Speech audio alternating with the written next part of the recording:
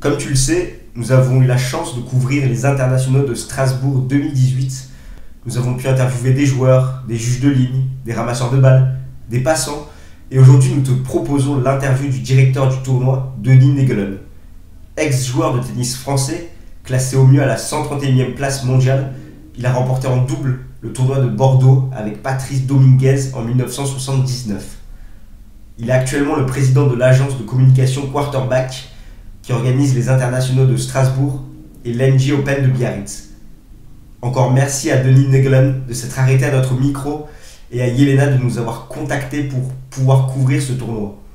Nous te laissons avec Denis Negelen, un homme passionné et passionnant. Donc, du coup, vous êtes directeur du tournoi avec votre agence de communication Quarterback depuis 2009. Quel est votre meilleur souvenir aux internationaux de Strasbourg, donc euh, là depuis 2009 j'ai beaucoup de bons souvenirs. Je n'ai que des bons souvenirs d'ailleurs dans l'organisation de ce tournoi depuis le début, même s'il y a eu énormément de difficultés aussi. S'il fallait que j'en choisisse une, je dirais que c'était au début parce que de voir Sharapova gagner, venir d'abord, c'était une vraie satisfaction. Elle a eu, euh, elle est allée jusqu'au bout, l'élégance de gagner le tournoi, ce qui n'est pas neutre pour un tournoi de cette catégorie. Et ça a changé, en fait, ça a changé le regard des gens sur le tournoi. Enfin, ils se sont dit, euh, ça bouge, euh, il y a les grandes championnes qui viennent, les télés ont commencé à s'intéresser au tournoi. C'était le début. Donc c'est ce déclic-là, c'est, on peut dire aujourd'hui, mon meilleur souvenir. Ok, très bien. Et du coup, qu'est-ce qui vous a motivé à prendre ce tournoi du coup avec euh, l'agence Quarterback, donc les internationaux de Strasbourg? Ce qui m'a motivé, c'est, c'est l'Alsace. C'est mon pays. Je suis né ici, pas à Strasbourg mais à Mulhouse, mais c'est la même région. J'ai appris à jouer au tennis à Strasbourg. J'étais entraîné, je venais prendre quand j'avais 12 ans des leçons avec Jean-Paul Lotte, qui était le professeur au Land Tennis Club de Strasbourg. Et euh, on arrive à un âge dans sa vie où on se dit qu'on a des racines et qu'il faut faire quelque chose pour ça. Et, euh, bien ça s'est euh, manifesté en 2009 quand j'ai appris que, que la fédération voulait vendre le tournoi. Donc je me suis porté immédiatement acquéreur en voulant. Ce qui me poussait, c'était pas simplement d'organiser un tournoi. J'ai organisé beaucoup d'événements déjà dans ma carrière professionnelle, euh, mais c'était d'organiser un événement en Alsace, à Strasbourg, et de le laisser là et qu'il ne soit pas vendu à un Chinois ou à, un Émirati. Voilà. Ok, très bien. Du coup, à l'heure actuelle, quelles sont vos ambitions pour les années à venir sur ce tournoi et pour votre agence Quatorba? Alors, mes ambitions, c'est de continuer à développer ce tournoi. Il est devenu en quelques années le premier événement de, tennis féminin en France, après Roland Garros bien sûr, mais je ne le mets pas dans la même catégorie, parce que simplement Roland Garros c'est un tournoi mixte. Donc euh, tournoi féminin, on est numéro un. Euh, on est devenu, avec le nombre de spectateurs, aujourd'hui 25 000 en 2017, le premier événement pérenne de sport féminin.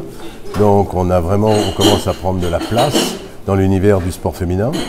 Et euh, donc je, veux continuer encore cette ascension, le développer, apporter encore un meilleur, confiance, un meilleur confort au public, euh, au VIP, aux joueuses, renforcer le plateau. Enfin, on a plein de pistes encore, même si on a beaucoup progressé, où on peut encore faire mieux. Du coup, vous parlez notamment des valeurs de ce tournoi, donc euh, le fait que ça soit centré sur la femme, sachant que c'est un tournoi féminin, mais il y a également une autre valeur importante, donc l'éco-responsabilité. Qu'est-ce qui a motivé cette démarche en fait pour euh, l'éco-responsabilité?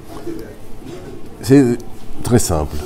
J'ai euh, un âge où, enfin, j'avais, j'ai 25 ans de, production d'événements et euh, avec une démarche professionnelle qui est la même et qui est tout à fait normale, qui est de se dire dans un événement, il faut qu'on ait le meilleur plateau possible, il faut qu'on ait le maximum de public possible, il faut qu'on ait le maximum d'audience possible, il faut qu'on ait plus de télé.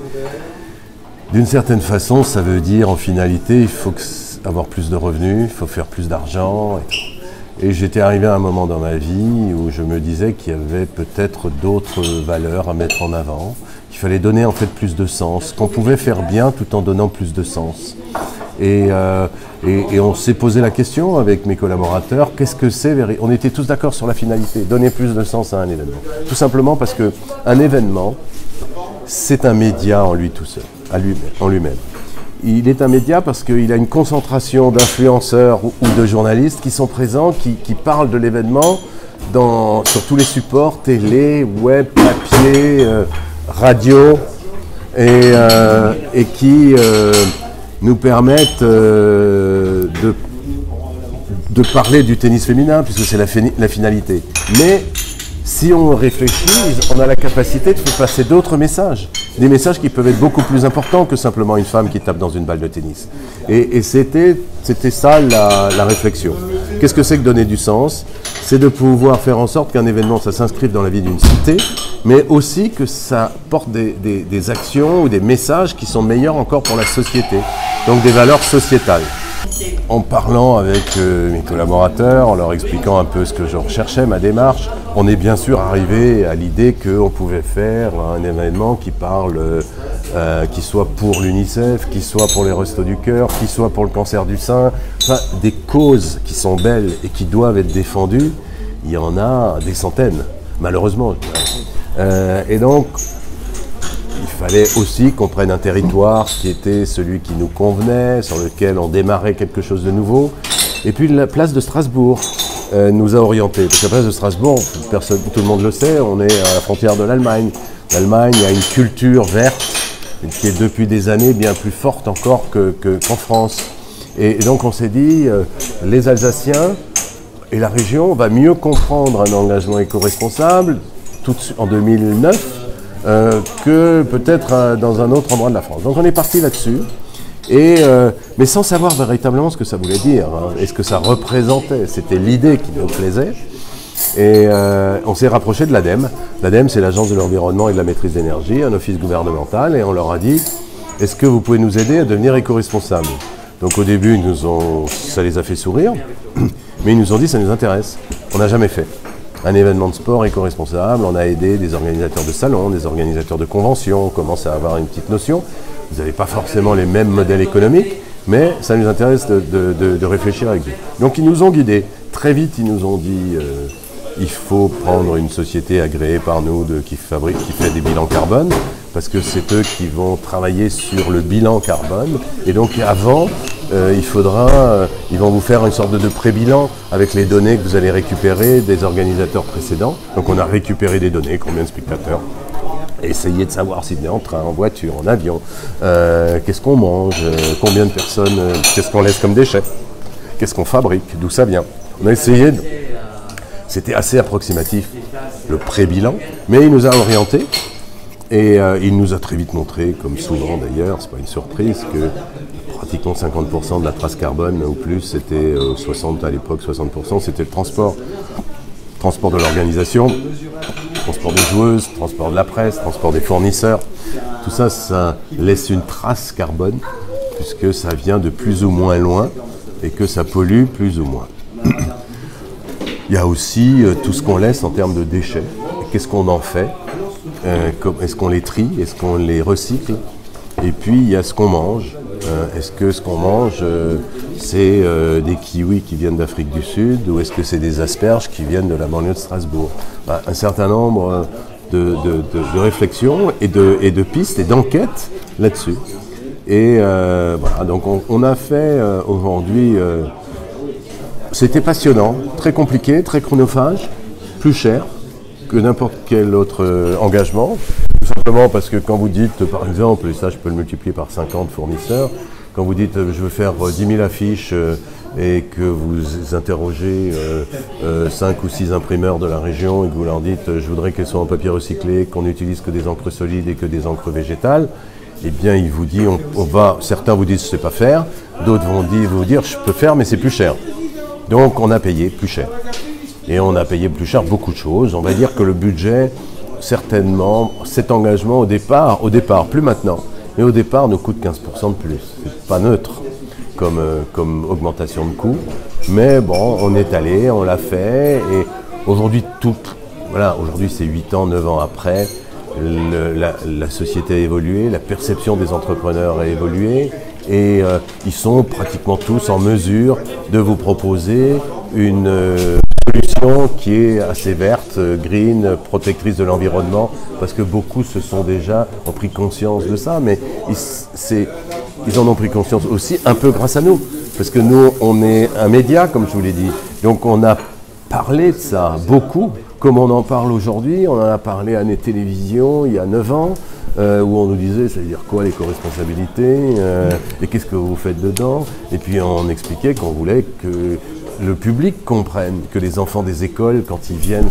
sur le site, il voit des choses de tennis, ça fait la promotion du tennis, mais il voit aussi toutes nos affiches qu'on fait, qu'on met en avant pour des, gens qui font des actions pour euh, euh, nettoyer les océans du plastique, il voit aussi des actions que font des, des marchés locaux qui sont totalement bio à Aubernais par exemple. Enfin, ils voient qu'on les incite à mettre leur bouteille de coca ou leur canette de, Pepsi dans une poubelle dédiée euh, parce que sinon elle va mettre 80 ans à disparaître de la planète.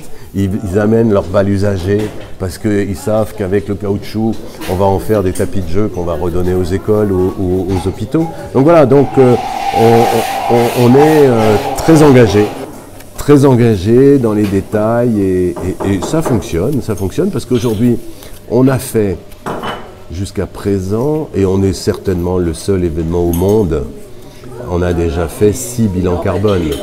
dire, euh, les Jeux Olympiques, quand ils prennent la parole, d'abord ça a une résonance très forte, ils disent on a fait un bilan carbone, mais, ils font pas, ils sont dix fois plus gros, mais ils font pas la moitié de ce qu'on fait en termes d'engagement. Maintenant, s'ils progressent, Roland Garros qui dit qu'ils sont vertueux, ils recyclent les balles, mais nous on fait beaucoup plus que recycler les balles du tournoi. On incite tous les spectateurs quand ils achètent un billet, ils ont un bandeau qui arrive sur leur site internet et qui leur dit si vous êtes joueur de tennis, quand vous viendrez aux IS, ramenez vos balles usagées.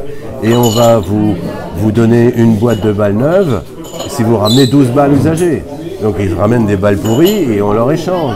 Donc on est vraiment dans un process extrêmement vertueux qui n'est pas gratuit, mais qui nous paraît euh, un engagement fort. Donc. Donc on va très très loin là très intéressant toutes ces valeurs du tournoi. nous, on va revenir un petit peu sur les joueuses. Vous avez parlé de Maria Sharapova qui avait été un coup de boost énorme pour le tournoi. Pour l'an prochain, s'il y avait une joueuse que vous deviez choisir pour euh, avoir aux internationaux de Strasbourg, qui ça serait? Écoutez, aujourd'hui, euh, j'aimerais que, j'aimerais que Serena Williams vienne annoncer sa, sa retraite du tennis à Strasbourg. Mais je crois qu'elle est tellement incroyable qu'elle va peut-être encore gagner dans 10 ans. Donc euh, je ne sais pas si Strasbourg fera partie de ses priorités. Donc Serena Williams. Oui, parce que c'est la plus grande de tous les temps quand même, c'est le plus grand palmarès. Quand je jouais, euh, j'aurais eu aimé que, que, Stéphie Graf vienne, mais bon, elle joue plus. Euh, et ça y est, ça fait partie de l'histoire du, jeu.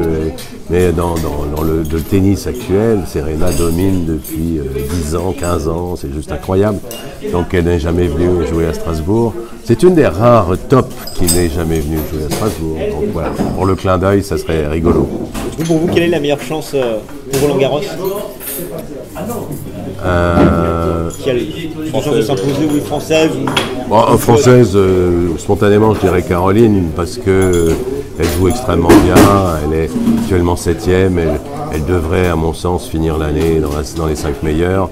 Donc, quand on a ce niveau, bon, c'est la raison pour laquelle elle ne joue pas à Strasbourg cette année, parce qu'elle me dit euh, j'ai une ambition, euh, si je veux monter vraiment dans le top 5, 3, il faut que j'aille euh, fasse des, demi régulièrement de Grand Chelem, voire des finales. Donc Roland Garros, c'est une priorité, je comprends tout ça. Euh, mais elle fait partie de celles qui peuvent euh, casser la baraque. Je crois au retour de Sharapova. Et voilà, et, dans les autres, elles se tiennent. Quand on analyse le tennis féminin aujourd'hui, Alep, Wozniacki, Alep plutôt que Wozniacki, elle reste la meilleure joueur du monde sur Terre en ce moment. Euh, mais Garcia peut faire un gros coup. Voilà. Donc Sharapova peut revenir. Elle, a tellement, elle, est tellement bosseuse. Elle est tellement pro que je pense qu'elle peut revenir. Du coup, on ne peut pas y manquer à cette question, mais qui voyez-vous gagner cette année les internationaux de Strasbourg? Ah, c'est intéressant. J'aimerais vraiment, parce que je l'aime beaucoup, Pauline Parmentier, parce qu'elle a, elle a montré qu'elle pouvait gagner un tournoi il y a très peu de temps à Istanbul et qu'elle vient et qu'elle est, c'est une fidèle du tournoi. On l'a invitée souvent parce qu'elle n'avait pas toujours le niveau pour rentrer, mais elle a toujours joué le jeu. C'est une femme euh, pro, sympa, euh, qui aime le drapeau, qui aime jouer en France. Et, pour ça, je trouve que j'aimerais l'avoir joué, euh, gagné un tournoi comme Strasbourg, mais je suis très attentif à. Je pense que d'une façon un peu froide, je pense que Gavrilova a les meilleures chances. Et j'aimerais aussi voir Danielle Collins euh, aller loin parce qu'elle est jeune, elle sort de pas grand chose il y a six mois encore, inconnue. elle fait une, progression euh, fulgurante. Donc tout ça est intéressant. Et puis je vais être attentif à ce que font des joueuses comme Buzarnescu, qui a gagné Biarritz, un autre tournoi que j'organise, et euh, qui était 380e, qui aujourd'hui est 60e. Donc en six mois, c'est fantastique. Et, euh, et, je crois qu'elle peut aller plus haut encore. Donc il y a des choses intéressantes. Puis je ne vais pas parler des grandes têtes de série comme Sivulkova ou d'autres qui sont là aussi. Bien sûr. En tout cas, on vous remercie euh, d'avoir pris le temps de répondre à toutes nos questions et on va suivre ça de, très très près pour savoir qui Merci à vous.